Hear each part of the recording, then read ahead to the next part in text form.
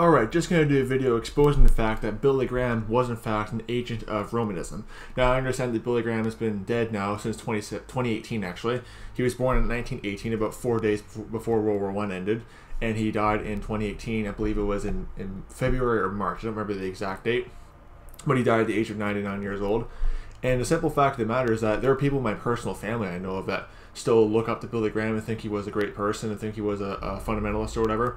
Uh, the fact of the matter is, the guy was an agent of Rome. He served the Romanist agenda, he served the papacy, and he was just an agent to draw more of, of what's called Protestant America back under the authority and control of the Roman Catholic Church. So here are some ex excerpts from an article on wayoflife.org uh, by David Cloud documenting Graham himself openly admitting to being, you know, uh, drawn to Catholicism and how, you know, there were Catholics that were praising his meetings and he was friends with Catholics. Yeah, that's simple. You can't call yourself a fundamentalist and hold to the biblical truths and be friends with Jesuits and Papists because the Roman Catholic Church is completely antithetical to New Testament biblical Christianity. Roman Catholicism is a cult from the pit of hell, plain and simple. But it says here, here's the first excerpt. It says, in his autobiography, Graham acknowledged that he he began to be to be drawn close to Rome very early in his ministry. He writes, quote, At the time, March 1950, Protestantism in New England was weak due in part to theological differences within some denominations,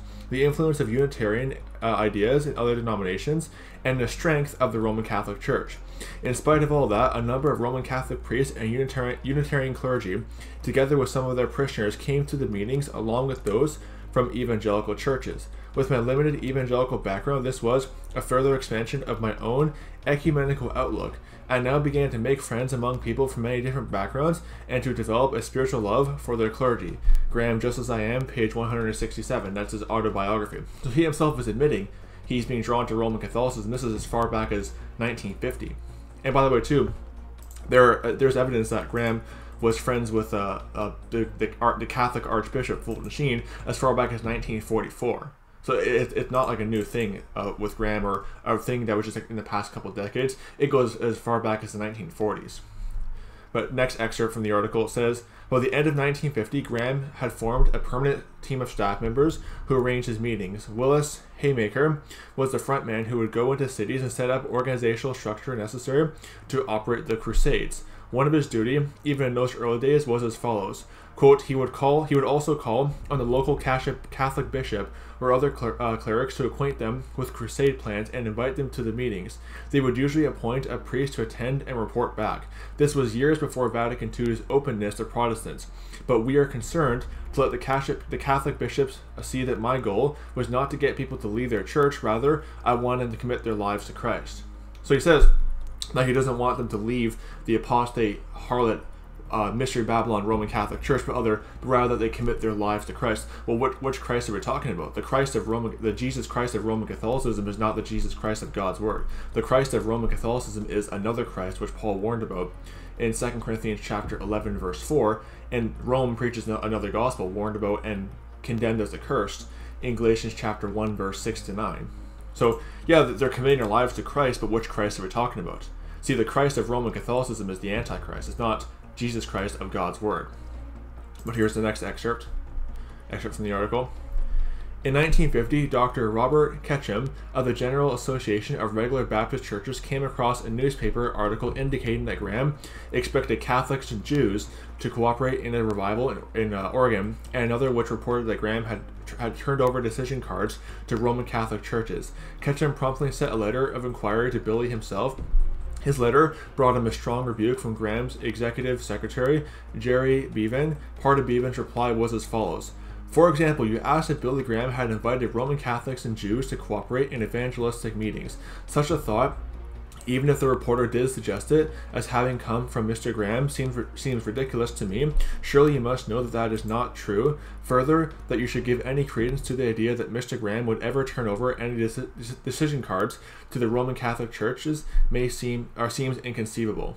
And it is a, that's a John Ashbrook New Neutralism uh, 2. Basically, he's trying to deny that uh, oh Graham never did that, but then later Graham goes on to do the exact same thing they're trying to deny he was doing, which is turning over the the cards to the Roman Catholic churches and yoking up with Jews and Catholics.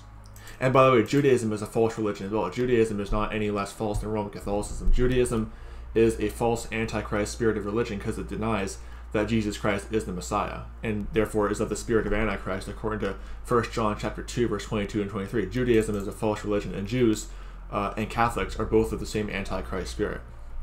But it says, continuing on in the article, uh, Graham was soon doing openly what Mr. Beavan labeled uh, what, what Mr. Beavan labeled ridiculous and inconceivable. On September 6, 1952, reporter William Mc, McElwain, hope I'm saying that right, writing for the Pittsburgh Sun Telegraph, remarked on Graham's ecumenical activities with Rome.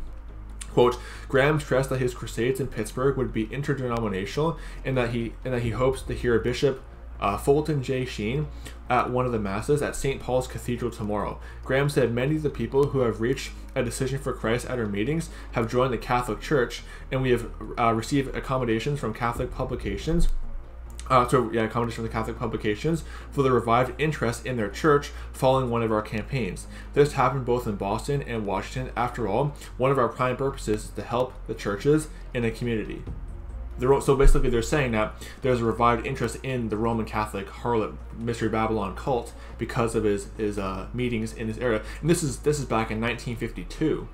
So it, again, it's not a new thing. With it wasn't like a recent development. It was a it was going on for decades and decades prior to what's seen as, as some kind of recent apostasy in the 1990s or whatever. No, it's as far back as the 1940s and 50s. Graham was yoking up with these papists who are pushing this this this revival of Romanism.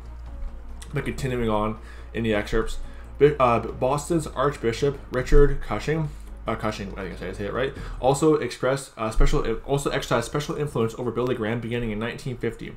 Cushing printed "Bravo Billy" in front of his uh, diocesan paper uh, during the January 1950 campaign. In an interview in 1991, Graham referred to this as one of the highlights of his ministry.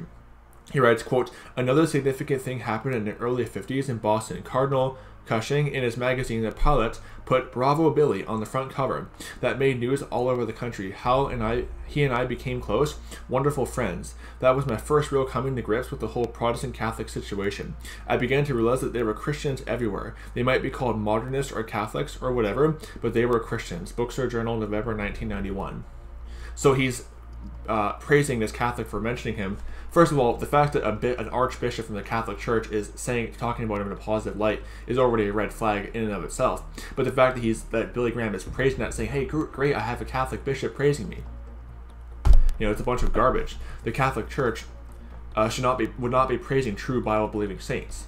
But the fact that they're praising Billy Graham, this Catholic bishop here, uh, is already a red flag in and of itself. So that's just some examples of the fact that Billy Graham was just an agent of Romanism. He was an agent of the apostate and pagan Roman Catholic Church, and which again Revelation 17 and 18 condemns as Mystery Babylon. So don't be deceived. Billy Graham, uh, he did start off somewhat good at the beginning, but like I said, he's been yoked up with Rome ever since the 1940s and 50s. So Anyway, don't be deceived. Don't be deceived by the big following Billy Graham has. Remember, Luke chapter 6 talks about how the false prophets are loved by the world. So, anyway, don't be deceived. May the grace of our Lord Jesus Christ be with all the brethren. Goodbye.